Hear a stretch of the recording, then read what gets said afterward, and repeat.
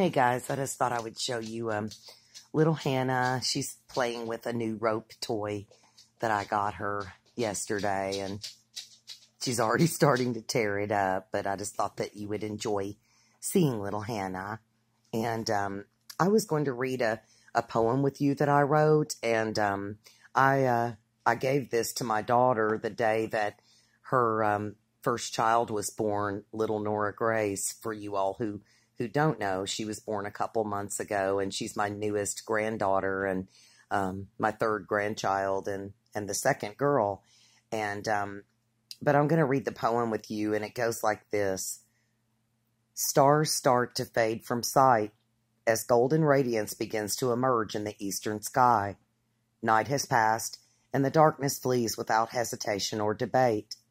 Each sunrise is different, the rays coming forth over the horizon announce hope and blend with the colors of God's creation to print a unique picture that is securely its own.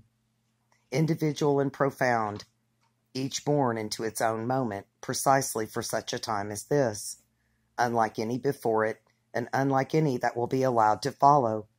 Each is a testimony to the Creator and allows us a glimpse into the heart of our Lord who said, I am that I am. I am the Lord thy God, and beside me there is no other. The Lord created us in much the same way, each birth unique and each individual wonderfully made for a purpose. To God be the glory both now and forever, Jesus, King over all creation. As the heavens declare the glory of God, and the sun's rays lift up over the horizon, let us lift up our hands and give thanks to the great I am.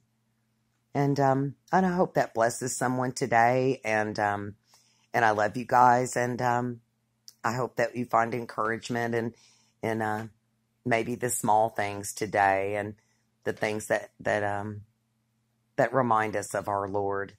Whether it's a beautiful sunrise and what does it say in Psalm 19? The heavens declare the glory of God, and the firmament showeth his handiwork. Day unto day uttereth speech, and night unto night showeth knowledge. God bless the reading of his word, and um, and I'm sure we'll talk real soon.